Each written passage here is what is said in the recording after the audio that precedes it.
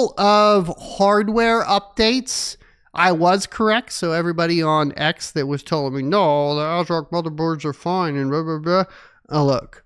ASRock motherboards show fluctuating SoC voltage reaching 1.27 volts, and that is a risk factor for the Ryzen 9000 CPUs. You need to be careful with this if you're running a 9000 series CPU on an ASRock motherboard. And this comes from Brian. Um, he's been one of my early mentors on YouTube, by the way, from Tech Yes City. He's a great guy. I definitely recommend his uh, channel.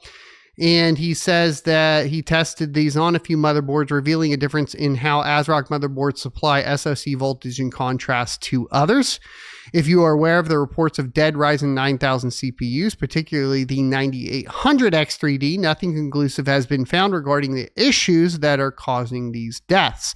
Perhaps this is one of the first investigations that shed some light on the issue and might help users understand what is actually causing the CPU deaths. And um, it isn't the first time that we've seen a 9000 CPU dying on an ASRock motherboard, but there are actually nearly 200 such reports, most of them on Reddit.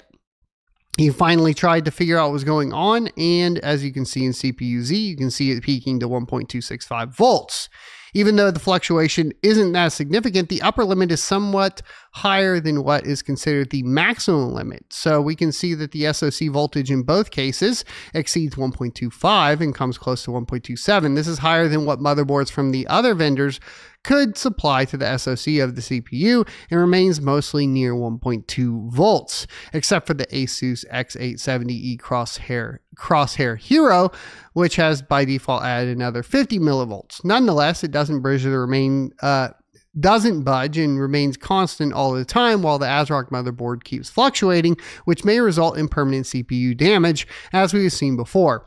Nonetheless, it should be kept in mind that it is the CPU that dictates how much SoC voltage is needed, and the deaths appear to be the result of how both CPU and motherboard handle the SoC request. Surely this needs to be deeper dived, etc. But if you're running an ASRock motherboard with a 9000 CPU or thinking about upgrading, upgrading to a 9000 CPU, maybe at least hold off until there's a BIOS patch. There have been a couple BIOS patches. They haven't directly said that it's related to this SoC voltage, just voltage in general. Um, because I have seen on a couple of my ASRock uh, AM5 motherboards. Um, I did swap to a gigabyte uh, motherboard for my main rig on AMD just because I don't want to deal with it. Um, but there is that, so keep that in mind. And then I saw this uh, for the miners and everybody. This might be interesting. AMD did unveil the EPYC 4005 series processors. These processors are essentially AM5 uh, AM5 socket EPYC processors. So server grade processors um, for the AM5 platform, which I found really, really interesting. Uh, they're designed to run 24 7, obviously good for CPU mining. And they do have the 16 core 32 thread at the top in the EPYC 4565P. And this is going to also, which is really interesting, be available in bare metal and cloud compute instances in Vultr, which I utilize. I think there's some affiliate links running around there in Vultr. Uh, so maybe I can go test some out for mining over there on Vultr. I think they still allow it over there, so we'll see how it goes. But um, these are, there are one, two, three, four, five, six different models, with the top range being 699 and that that will be an X model, which will get you up to the 5.7 gigahertz boost with a 4.3 gigahertz base and that will be 16 cores and 32 threads. They go all the way down to a 6 core 12 thread option in the 4245P, and that will be a base of 3.9 gigahertz and a boost of 5.4 gigahertz. Um, I, I think you know, for longevity in mining, these are quite interesting um, because you can slot these into AM5 boards.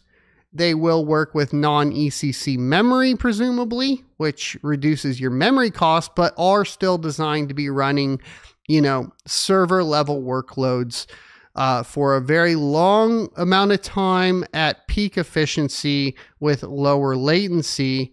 obviously developed for IT administrators, but could be extremely useful for cryptocurrency mining or really even in any sort of AI build you may be looking at in the future. I think the obviously the lanes are better than the Intel competitor on AM5.